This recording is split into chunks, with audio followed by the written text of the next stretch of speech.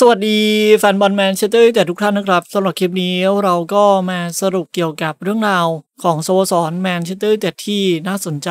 ในรอบวันเหมือนอย่างเช่นเคยนะครับ ก่อนที่ไปข้อมูลกันแบบเต็มครับ ก็ฝากกันเหมือนเดิมครับ เรื่องของ Facebook ช่อง YouTube อีก 2 ช่องทางนะครับ ให้กดติดตามรับฟังกันได้ที่ลิงก์ด้านล่างทั้ง 2 ลิงก์นะครับ เรามาเริ่มกันที่ประเด็นเรื่องแรกครับ ตามรายงานจาก MEN นะฮะสื่อท้องถิ่นของเมืองแมนเชสเตอร์ครับมีการระบุว่า ทางเซอร์จิมแรดคิปได้มีการมอบอำนาจให้กับ CEO ของสโมสรแมนยูเรา ก็เป็น CEO คนใหม่นะ อย่างโอมาร์เบร์ราด้านะครับ ซึ่งเบร์ราด้าได้รับการมอบหมาย ให้มีการตัดสินเกี่ยวกับอนาคตของเอริคเทนฮากในช่วงซัมเมอร์นี้นะครับ ก็ขึ้นอยู่กับผู้อำนวยการนักกีฬา แล้วก็ CEO ของทีมอย่างเบอร์ราดานั่นเองนะครับ ส่วนเซอร์จิมราคิปเนี่ย เขาก็มีสิทธิ์แหละที่จะมีการออกปากออกเสียงเพราะว่าเป็น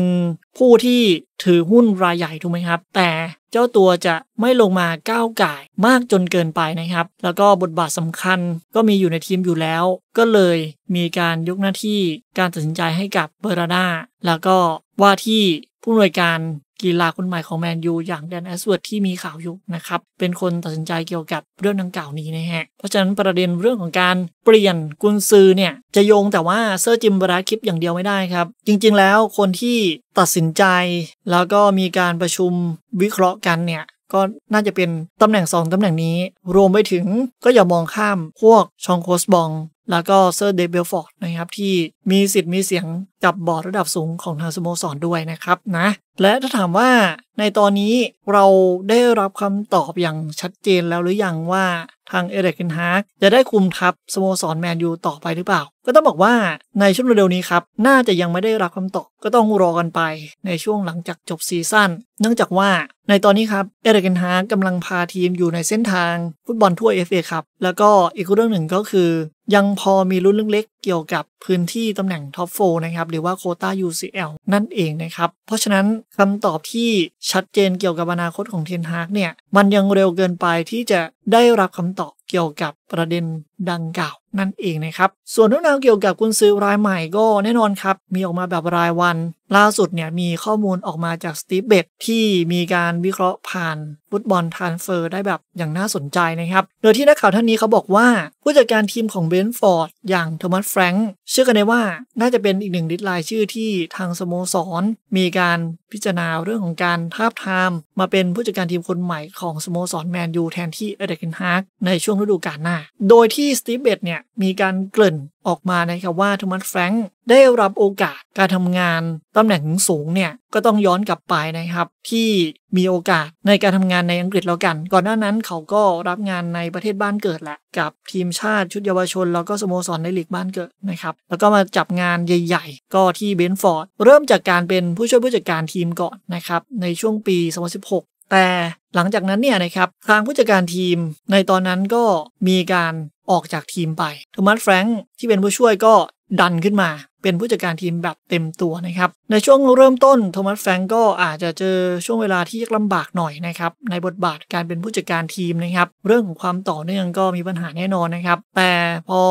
ทำเรื่องของการคุมทัพได้สักระยะหนึ่ง สร้างทีมได้ มีเวลาสร้างทีมก็สามารถสร้างความมั่นคง แล้วก็ระบบการเล่นของเบรนท์ฟอร์ดเป็นในทิศทางที่เขาต้องการได้ แล้วก็มีความเสถียรเพิ่มขึ้นนะครับ โดยที่โทมัสแฟรงค์พาเบรนท์ฟอร์ดเข้าสู่รอบที่ 5 ของ FA ครับแล้วก็จบอันดับที่ 11 ในการแข่งขันลีกรองของประเทศอังกฤษครับ นั่นก็คือแชมเปี้ยนชิพนั่นเอง ฤดูกาลถัดมาครับ ปี 2019 จนถึง 20 เบรนท์ฟอร์ดมีการปรับปรุงหลาย ๆ อย่างในทิศทางที่ดีขึ้นครับ ทั้งรูปแบบการเล่นทั้งเรื่องของอะไรต่างๆนะ ทุก ๆ อย่างนั่นแหละนะครับทำให้พวกเขาเนี่ยจบในอันดับที่ 3 แล้วก็ต้องไปเล่นเพย์ออฟนะครับ แต่ว่าสุดท้ายเนี่ยก็ไปไม่ให้แพ้ต่อฟูแล่มไป ก็เลยอดเลื่อนชั้นไปสู่พรีเมียร์ลีกอังกฤษนั่นเองนะครับ น่าเสียดายมาก แต่ในปีถัดมาครับ ปี 2020 จนถึง 21 นะครับโทมัสแฟรงค์แล้วก็เบนฟอร์ดยังคงทำได้ดีอีกครั้งหนึ่งนะครับ แล้วก็พวกเขาจบอันดับที่ 3 อีกครั้ง และพวกเขาก็ทำสำเร็จครับ โดยการเอาชนะสวอนซีซิตี้รวมไปถึงทางโทมัสแฟรงค์ก็ได้รับรางวัล ผู้จัดการทีมแห่งปีของเดนมาร์กด้วย จากการที่เขาเนี่ย พาทีมเบรนฟอร์ดเลื่อนชั้นสู่พรีเมียร์ลีกอังกฤษครั้งแรกประวัติศาสตร์ของทางสโมสรนะครับ แน่นอนครับว่าการขึ้นมา ของเบรนฟอร์ดในช่วงแรกๆ มันก็ต้องมีการดิ้นรนกันหน่อยนะครับ เพราะว่าลีกอังกฤษลีกสูงสุดเนี่ยมันมีความแตกต่างจากลีกรองอย่างชัดเจนนะฮะ เพราะว่าเราต้องมาเจอกับ big team ของอังกฤษนะครับที่เต็มไปด้วยคุณภาพนะครับ แต่อย่างไรก็ตามครับ มันก็ไม่ได้ย่ำแย่เสมอไปครับ เนื่องจากว่ามีการประเดิมที่ดีนะ ในช่วงปีแรก พวกเขาจบอันดับที่ 13 แล้วก็ปีที่ 2 ก็จบอันดับที่ 9 แล้วก็ณปัจจุบันเนี่ยรั้งอยู่อันดับที่ 15 นะครับสำหรับเบรนฟอร์ดนะครับ อย่างน้อยๆเนี่ยพวกเขาก็สามารถอยู่ในพรีเมียร์ลีกอังกฤษต่อไป ใน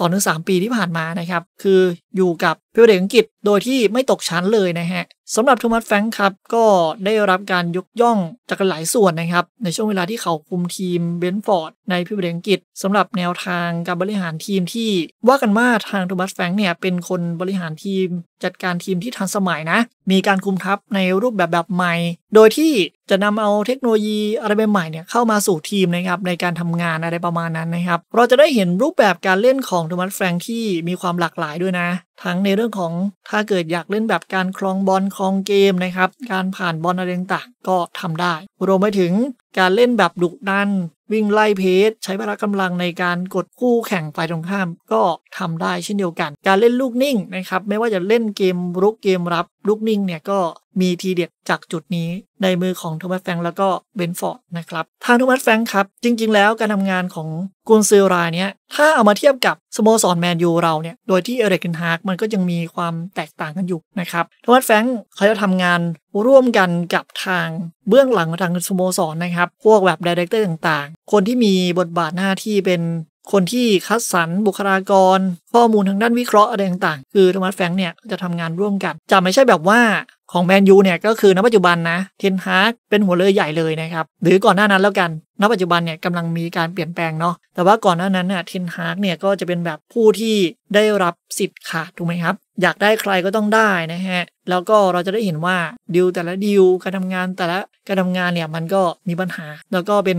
ดิวที่เรื้อรัง หรือบางดิวก็เป็นการซื้อที่ไม่ตอบโจทย์นะครับ แต่แฟรงค์เขาจะเป็นกุนซื้อที่สามารถทำงาน แล้วก็ยอมรับเกี่ยวกับแนวทางการทำงานที่ต้องทำงานร่วมกันได้แล้วกันนะครับ โดยที่จะมีทีมงานหลังบ้านก่อนคุณจะซื้อใคร คุณชี้ได้ก็จริง แต่ถ้าเกิดมานั่งวิเคราะห์กัน แล้วนักเตะรายนั้นไม่ตอบโจทย์คุณก็ต้องยอมที่จะมองหานักเตะรายใหม่นะครับอะทุกคนน่าจะเข้าใจกันดีนะ แต่ก่อนหน้านั้นของแมนยูเรา ไม่ว่าจะเป็นหลังจากที่ป่าวางมือ ก็ต้องแบบดำเนินการเองถูกไหมฮะ ส่วนใหญ่ก็ต้องแบบเป็นคำขาดจากกุนซื้อเท่านั้นครับ ซึ่งเราทราบกันดีครับว่า ตอนนี้อินเนอสเข้ามา เขาก็จะมีการเปลี่ยนแปลงแนวทางการทำทีมที่เหมือนกับทีมอื่นๆแล้วกันนะครับ ก็คืออย่างที่บอกกันไปแมนยูยังอยู่แบบ ในยุคเก่าอยู่ ผู้จัดการทีมเป็นคนแบบเลือกเองได้สิทธิ์ขาด แต่หลังจากนี้ทางอินีออสจะมีการปรับโดยการที่กุนซือคนใหม่เนี่ยจะมีบทบาทในเรื่องของการชี้นิ้ว การดีดนิ้วอยากได้นักเตะรายใด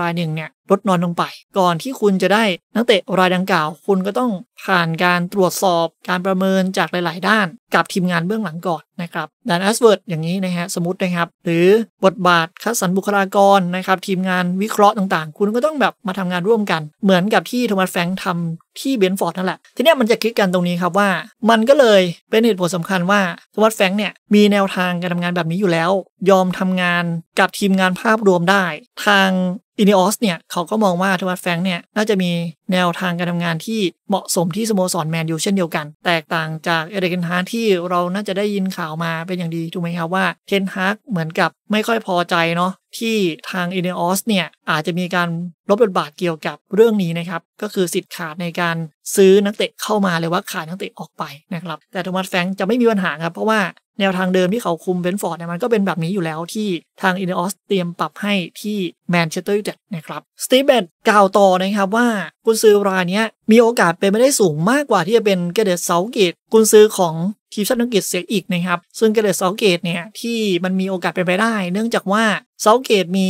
ความสัมพันธ์ที่ดีกับเซอร์เดฟเบรลส์ฟอร์ดแล้วก็แดนแอชเวิร์ธที่เคยร่วมงานกันนั่นเองนะครับแต่มันก็ยังมีข้อสงสัยว่า ทั้งคู่ครับในการคุมสโมสรที่เป็นสโมสรขนาดใหญ่ ทั้งคู่อาจจะมีตำหนิตรงที่ว่า ทั้งคู่ไม่ได้มีประสบการณ์ ในการคุมสโมสรขนาดใหญ่ แล้วก็มีความกดดันเยอะในแต่ละเกมในแต่ละสัปดาห์นะครับแกเร็ธเซาธ์เกตอย่างที่บอกกันไปครับก็คือโอเค คุมทีมชาติ ความกดดันเยอะอยู่แล้วแหละ แล้วก็มีการทำงานกับซูเปอร์สตาร์แต่พอมาแนวทาง กับทางสโมสรเนี่ย คุณต้องแบบคุมทัพแทบจะทุกสัปดาห์ถูกไหมฮะ ความกดดันจากแฟนบอลก็สูงขึ้นนะครับ แต่ละสัปดาห์ด้วย แต่ทีมชาติอังกฤษมันนานๆทีเตะนะฮะ แล้วก็ต้องรอทัวร์นาเมนต์กันไป แต่ที่สโมสรเตะทุกสัปดาห์แล้วก็คุณต้องเจอความกดดันจากสื่อแทบจะทุกสัปดาห์อีก นี่คือข้อที่จะพูดว่าตำหนิก็ไม่ได้ แต่เป็นข้อที่เกิดความสงสัยแล้วกันว่า จะแบกรับความกดดันไหวหรือเปล่า ประสบการณ์ของเขาจะพอกับการ คุมทัพที่ไม่ใหญ่แบบนี้ไหมนะครับสำหรับแกเร็ธเซาธ์เกตเราก็ต้องเจอแบบเกมการแข่งขันที่